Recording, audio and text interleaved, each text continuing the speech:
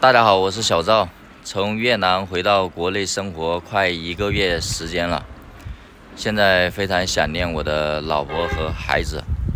看到很多评论分析，我老婆是不是不想在中国生活，跑了不回来了？其实我想了很久，说句内心话，现代婚姻的复杂性，谁也没有办法保证未来。所发生的一切事情，所以我心里面也没有底。我老婆在中国生活的那三年，是陪我在衡阳市区的房子度过的。所以今天天气非常的好，我想带大家去我市区的房子里面看一看，回忆一下我和我老婆以前生活的点点滴滴。看，去卧室。看一下我老婆孩子的生活习惯，深度挖掘一下线索，看他到底有没有想留在中国再继续回来的想法。一生落花一朵，不知道做什么，什么表示爱。你放低你没有告诉我。你看了？电电器，我等一下又要扫地。爸爸妈妈，你不是那个妈妈，啊？你们在家有事没有？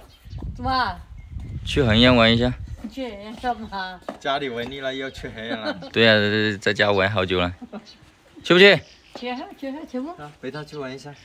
那你们拿东西啊，走啊。我去拿个包。啊，去吧。拿东西走吧。你请你老妈个呗。我我穿的衣服。你还你已经穿这个衣服好帅了。还要把这里扫一下。你不要再晒了。你在仙女散发，搞得他还要扫地了。这花真的好漂亮。这个人就是太麻烦了。我妈挺麻烦了。你看我要扫地了，没事做啊。我开心就。取错没有，爸爸？取错没有？采访你一下，取错了没有？没有啊，没后悔，没后悔，边扫边丢，还在搞。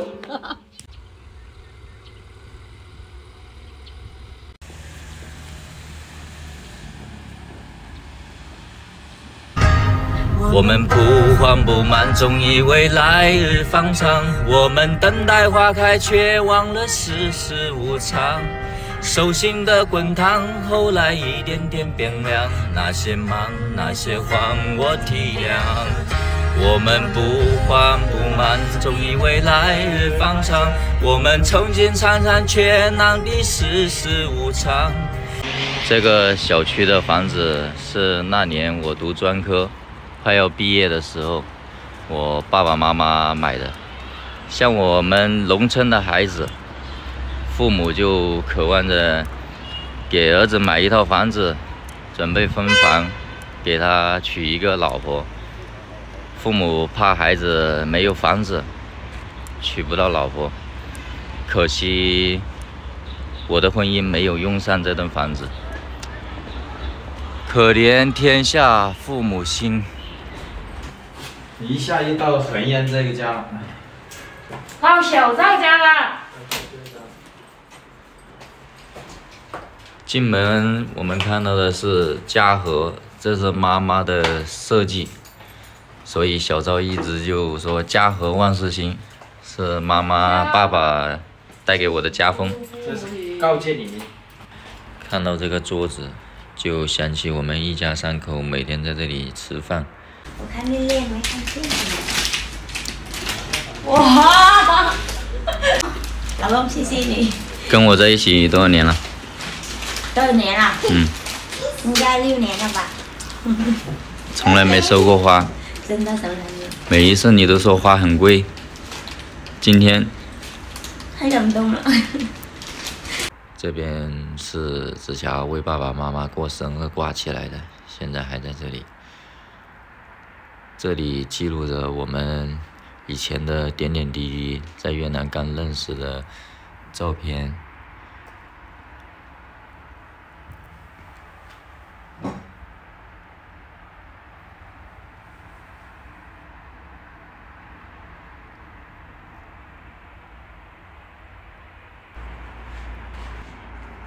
看到小紫英这台自行车，就想起小紫英收到自行车开心的样子。在哪里？你看吧。给谁？我给钱了。给了。哪里有钱？钱呢？没没钱，把它压住，哎呦我的妈！去去去洗碗。去洗碗。哎，这个人怎么这样呀？不好呀！我现在你跑了，跑了，我抓住你，去洗碗。哦，什么？这是什么嘛？没听了。他坐车没给钱，他妈妈抓他，他就哭了。我吓死了，我以为什么事？他一下跑哭了，不哭了，不哭了，找你的了，傻瓜。看到了这个沙发，就想起紫霞带着紫英坐在这里相夫教子。这个什么？妹妹，干嘛？选衣服，选衣服，散短闪闪裙子，长裙子，散裙子，长裙子，姐姐穿。姐姐穿。爸爸妈妈，妈，你们不是经常喜欢看我视频下面的评论吗？看了，嗯，这一次我从越南回来，没带老婆孩子回来，很多朋友可能觉得是不是跨国婚姻不长久啊？呃，也有亲人身边的朋友说这样的婚姻是不是应该离婚？你们是怎么想法的？这个有什么了？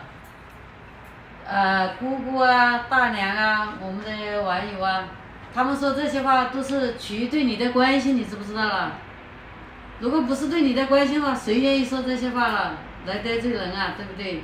嗯然后最重要的，你也要想一下啊，呃，如果紫霞不回来的话，到时候你不可能在那边过一辈子吧，对不对？我们在中国到时候老了怎么办？以后还有我们两个人老了，嗯 我们两个人走了，嗯你怎么你你有没有想过这些哦？但是我们呃跟你妈妈没有这个想法，要自己要自己你们去地方，我们没这个想法嗯啊。那这最重要的是你要看紫霞愿不愿意回来，嗯，是吧？然后呢，他我也许是我们多想，你看到没有？嗯他他也许他想在云南多待一段时间啊，他娘家是不是在在我们这里生活嗯这么多年了？是也许他想在那里多生活一段时间，也许是我们多想了。他是从小在那里长大的，肯定想待在那个地方。对这个，你看他走的时候把房间经修得整整齐齐，叫我不要去动他的，我带你去看一下。你去看吧啊，，带你去看一下。他。他去越南的时候说了呀，对呀、他跟我说的，他说爸爸你不要动我的房间。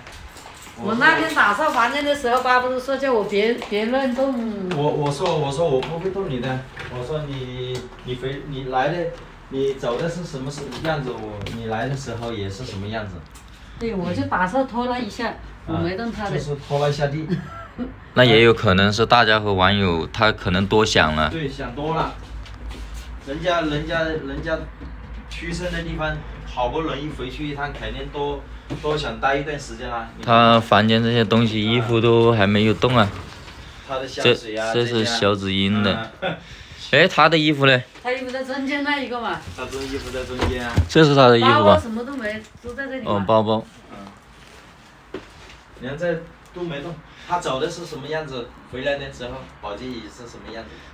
证明他离开中国的时候还没有说要不回来的想法。他走的时候自己把东西都捡得好好的，摆得整整齐齐的。